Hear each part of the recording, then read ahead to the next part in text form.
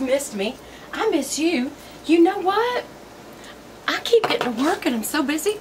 I forget to upload. And it's just quicker, quicker to upload when you have a bigger engine behind you. You know what I'm saying? It takes me like almost 24 hours or maybe 12 hours for it to upload at home. And so I take it to work and then I forget to upload. I just get busy and forget. How y'all doing? I just got my hair done. What do you think? I wanted to show y'all kabuki. Kabuki is for when your hair's thinning. See how my, my part line, how it's thinning right there? How are y'all doing? I didn't ask you. How you doing? Hey, y'all. Mm -hmm. Are you having a good week? Or midweek? Midweek. Actually, we're past hump day. So what can I say? But except I need to get my nails done now. I got my hair done. Uh-huh. I'm liking it being shorter. What do y'all think? You can type so much faster and play games so much faster. Okay, so this is going to be, as you saw by the title, July favorites. And, um, yeah. So, one of my July favorites is my hair. Because she did a really good job. She kept it light for the end of the summer. Because, you know, as I go into fall, I do darken it up a little bit. Um, but what we basically did was bring out more low lights. So there's some contrast in there.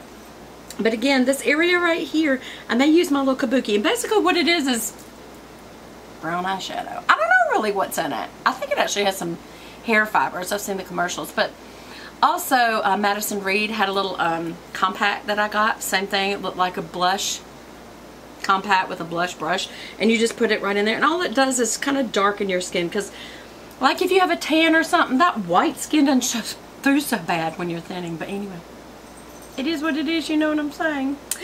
Alright, you know what? I feel the need for blush. Do I have blush? I mean, I usually have something from M Cosmetics handy. Let's see if I do. I do.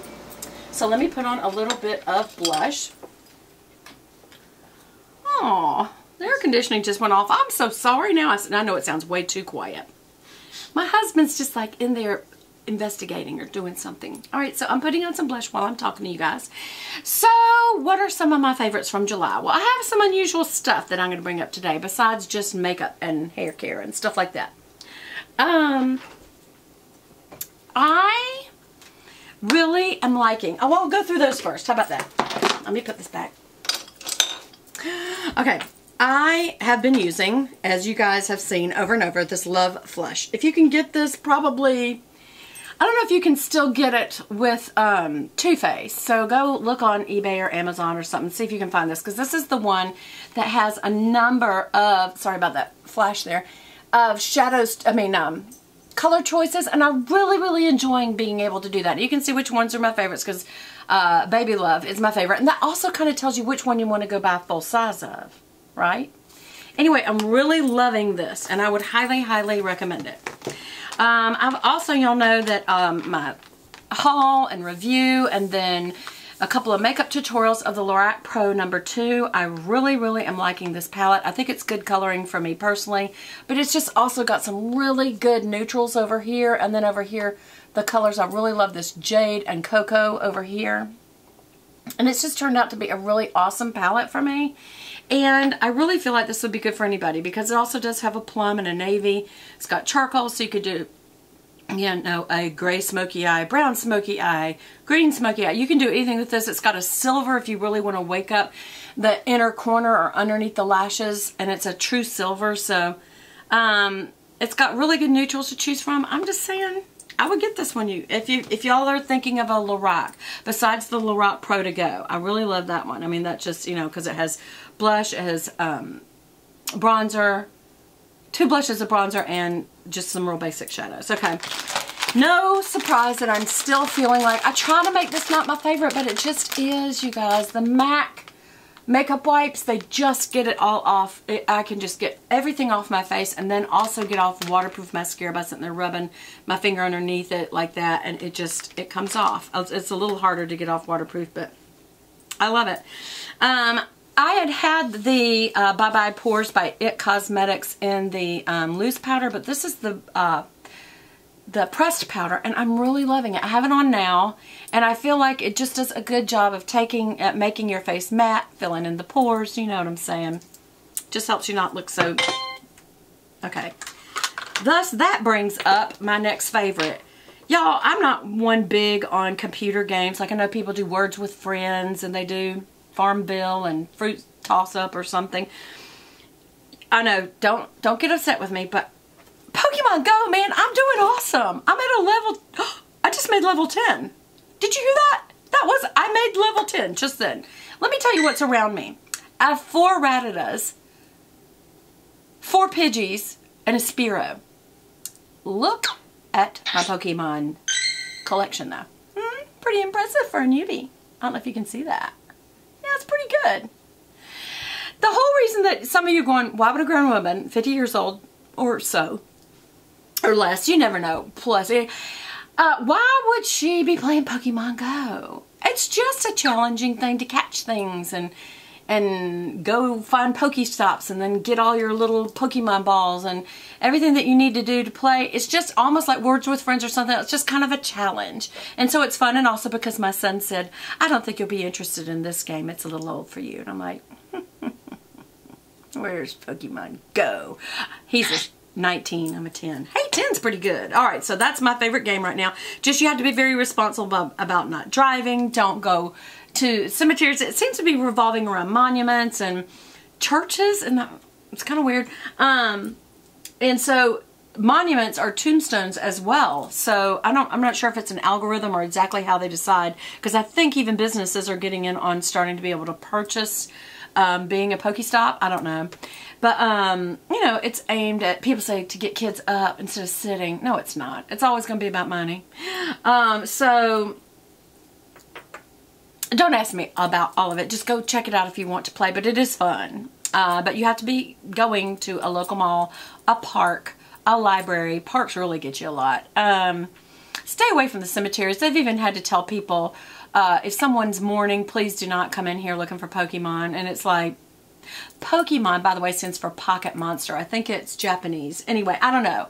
It's a Nintendo game made by uh, Niantic, and if you want to find out the details, go look it up. It is a phenomenon. It's like biggest downloaded app in history kind of thing, or definitely within two weeks. So it's it's interesting. It's fun. Uh, another one of my favorites is a perfume that has revived itself in my collection that I just started, honestly, because I ran out of Boucheron, which I seem to use every day. And La Nuit de Bohème by Anna Sui. It's this beautiful kind of peony rose uh, and brass. I guess they say rose gold, but to me it doesn't look very rose gold. Uh, with the butterfly, y'all know that's my thing. On top, the thing is, it is such a fresh scent. I absolutely love it.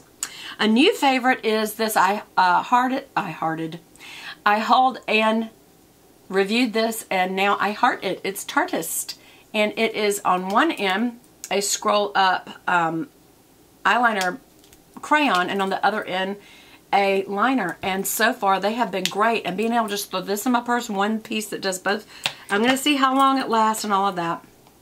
Another new favorite and I hate it because it's so expensive but I got a sample of this multi miracle glow.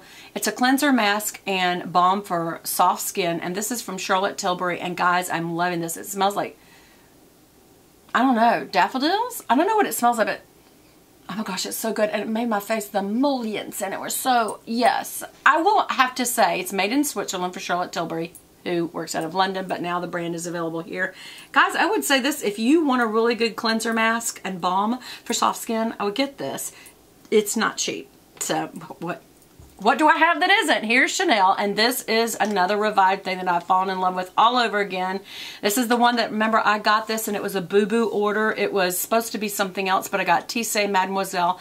This is the Les Quatre Ombre. This is the um, four um, color palette in Les Mademoiselle. I'm sorry, Tissé Mademoiselle. It's 214.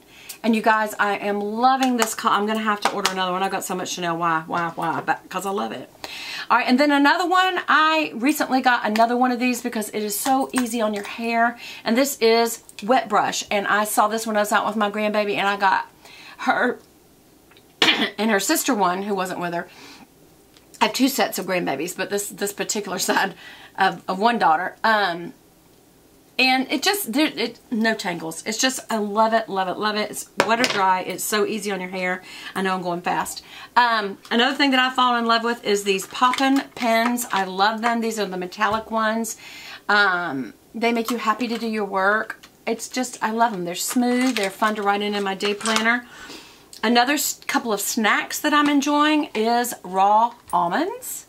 And I eat these uh, whenever I feel hungry because it's a good protein source and it keeps your metabolism up in between meals, but just like a little handful of them. And then I'm starting to add to either tea or coffee some all-natural honey. This is one of my favorites. I don't even think this has, look, it doesn't even have a label, which means it's probably got botulism. I don't know. I don't know. I think honey lasts for a hundred years or something. But anyway, I just put a little bit in my coffee or a little bit in my tea. I especially like it in hot tea. And it just makes it makes me want to drink more liquids, which is good for you. I'm trying to drink more water. I never thought about putting honey in water. That would be kind of gross, actually, it seems like.